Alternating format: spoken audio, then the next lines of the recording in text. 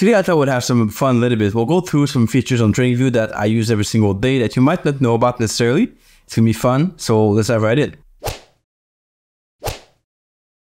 Alright, so this is something I, I want to do for a while. We'll go through some features that people don't use too often or they just don't know about. And it's cool to kind of share some tips here. You might know these things, you might not know them at all. And let me know in the comment section below which ones you know and which one you didn't know or which one you will use after this video. I'll be curious to hear. Today I'll share with you five actual tricks that you might not know exist on TradingView and I'll show you how I use them and how you can use them for better trading. First thing I want to show you is pretty cool. Is how to use multiple indicators on specific time frame. Now I love this setup because it allows me to use different things, different time frames. Also, sometimes I want to use like a moving average on a daily chart, but I don't want to set moving average on the four hour chart to the one hour chart. It doesn't matter to me. So what you can do is very cool. Is any indicator you put in your chart, you can just click on it Again, you can open the feature over here in the corner. We can see all the indicators. Have an EMA here that's on, so I have an 8 EMA and a 21 EMA for this video example. I can also just click on it if I want to and open up this menu here. So my 21 EMA is set for, if I go here to visibility, is set for only the daily chart. So one day to 366 days or one week to 52 weeks. So it's only set to these time frames. Okay, you won't see it on these time frames here. If I put it on the one hour chart, so 124 will show up on all the one hour charts and five hour, four hour, eight hours, all that stuff, right? But I don't want to have this. I don't care because I have a Bollinger Band on this time frame.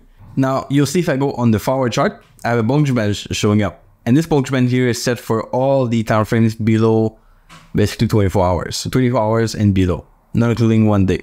So if it's one day, well, it won't show up. If it's five weeks or a weekly chart, it won't show up. Only my moving average will show up kind of cool way to organize your charts if you don't want to see your stuff on all time frames.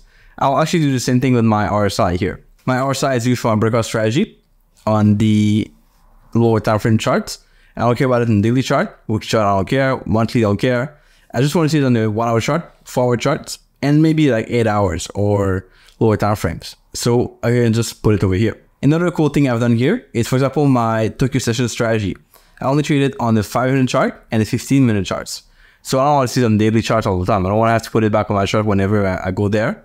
So if I turn it on over here, you see it will show now on all time frames. I don't care about this this stuff because it will just show on like every single bar because it's a lower time frame strategy. So what I'll do is I'll just go over here in the menu. Now click on the icon here to modify. Again, I have my inputs, I have all the stuff here. But I'll just take off here my one hour chart. I want to see it daily, weekly stuff. I just want to see it on the pretty much the 5 minute and 15 minute chart. So I can just put it right here. From minutes 1 to 59, it will show up on the chart. Or that, it will not show up. Then if I go here, I close this menu. Let's say now it's Tokyo session time. I want to show that strategy on Tokyo session. I'll just go on the 5 minute chart. And this one shows up over here. My Bollinger Band still show up, but I can take it off over here. So from actually we should do from minute 1 to 15, Bollinger Band chart will not show up that way. So see now it's like this. If I go on, let's say I want to have a custom time frame of anything else, then the Bollinger Band will show up. This one shows right there. So we're good to go. Now if I go there, if I go back on a daily chart, moving averages show, Bollinger Band doesn't show up, the issue session doesn't show up. So it's very automated. Like I have to like go back on the time frame, put in here by myself. It's all done for me there, right? All simple, which saves you time and makes things a lot easier. Okay, the other thing I want to show you here is the multiple monitor setup with TradingView. Cool feature for people who have multiple monitors at, at their desk. They want to have a one hour chart here, a different time frame here, or different pairs, different watch list. Makes it very cool. What you want to do to open this up is you go at the top right corner and you do need a paid subscription for this, I believe. You have a monitor icon over here, two monitors icon. Click on this and that will open up on your other screen a new kind of place to open the charts. So this right here is what it looks like now. We have TradingView on the big computer. And on this monitor here, we have a new window. Now, what I'll do is on this monitor here, I'll just open a new watch list. Let's say I want to have my second investing one, which is over here. So will open up. I can already change my watch list here to my investing watch list right over here. Then I've got this here. This one is my investing one. And this one on the big monitor is still my Forex one. I can do this with all different kind of instrument, different kind of time frames. It works quite well. I could even have a third one if I want to on the right. I could have my iPad with different charts if I want to. But two works well, three works well, the same. You can have as many as you want, and it works quite well.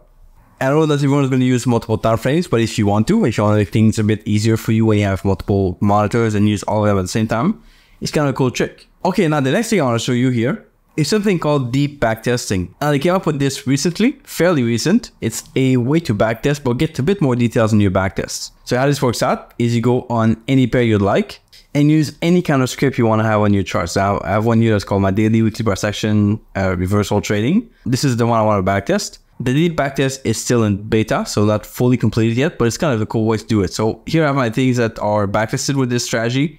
Uh, by the way, I kind of like this feature here where you have your, first of all, you have your drawdown you can enable. So you see it maximum drawdown over here, where it kind of shows on the right of your chart here, the, how much you're going to draw down. So my maximum here is 9,000. And we go here, roughly 9,000. I believe here also. So you can see like which trades and, and that stuff. It's kind of cool. And the other thing I like is uh, this is my equity. So the profit I have in green on my strategy. But then this is a cool one. This is a buy and hold equity. So if you want to like like look at a stock and see your backtest there, compare how much profit you would have uh, if you just like buy the stock and hold it long term like compared to your strategy that you have in the market. If you actively trade, you always want to be able to go beyond by quite a lot that buy and hold equity. It's kind of a point because otherwise, want to just buy and wait for the profits at the end of like a, a 10 years or something. It's worth it, right? On this pair here, of course, this is forex. It goes up and down. You see the buy and hold will be very, very bad, right? We'll get to at the end roughly break even. Okay, um, we made like uh, six thousand dollars on a $100,000 account. So 6%. With my strategy, we get 45% profit here. Big difference. Okay, you can see that. But the cool thing is with the deep backtesting, you can actually choose your dates when you want to start. You're going to have a lot more data here. So if I just go here, I can check and start from the first day available, which turns out to be 2011. Now we have more control on the date. It will end here yesterday, basically, August 1st.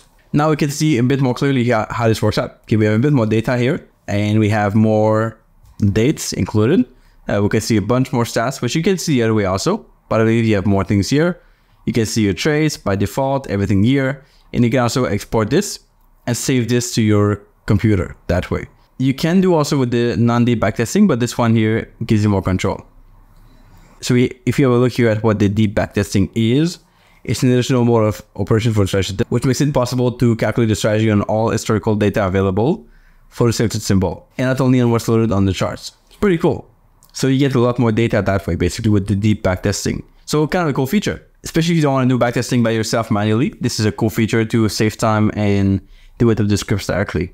Okay, I've got a cool one here for you, which is something that I kind of played around with a little bit. Like I, kind of like it and find it very interesting, but I'm not sure how to use it exactly for Forex.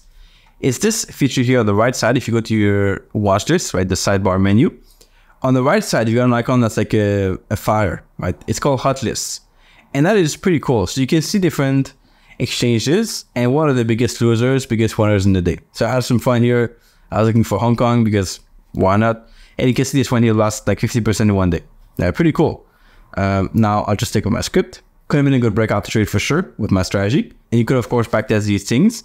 Uh, you don't have this for Forex yet. We have a lot of exchanges you can pick from here. So you have US, you've got even the OTC stuff, uh, which you don't have Forex in this anyway. Then you've got all these countries to choose from. So kind of cool if you want to especially invest, you want to find cheaper stocks that had a big decline, or you want to find things that are breaking out for a different kind of instrument. This could be cool. Uh, there's a lot you can play around with. So if you want to see, for example, I want to see the uh, Singapore stocks. I want to see the biggest, biggest range losers. And we show up over here. We can have a look. Kind of messy on this chart here, but we can see the biggest losers here on the charts that were in the range. That's pretty cool. Uh, so I'm not sure exactly how you would use this, but it's a cool feature to look at, and it's good if you invest.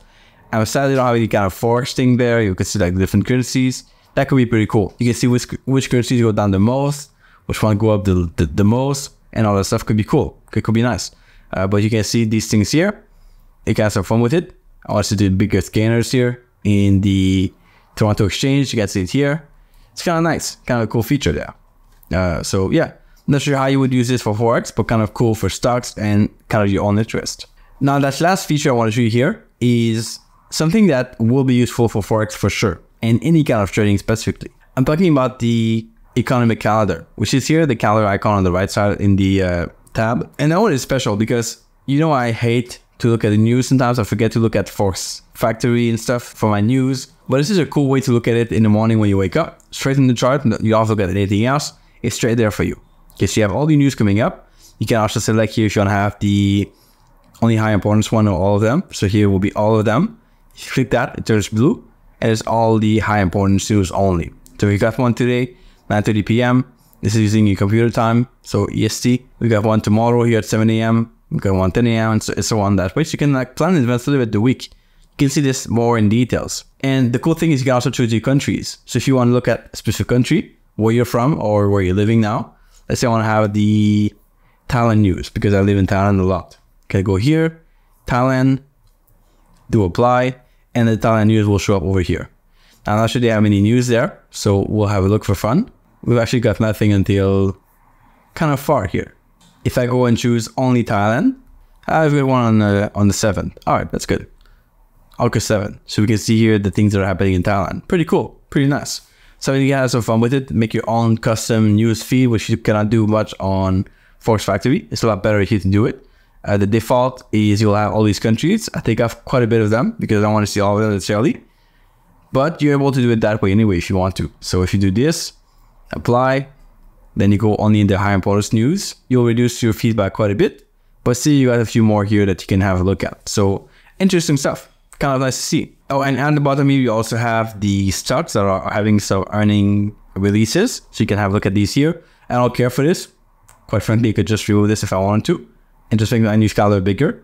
But it's, it's there if you want to have a look at it anyway for fun. So we covered a couple features here on TradingView. I want to have your thoughts in the comment section below. Let me know which one you know already, which one you will use, and which one you won't use. I'm curious to hear your thoughts in the comment section as always. Make sure you are subscribed to the channel here. I publish like this three videos a week. One or two videos every Sunday, and two videos where I teach you trading tips during the week, and some things I get from my own experience, so you can learn and become a better trader. And I'll catch you back here in the next video pretty soon. Ciao.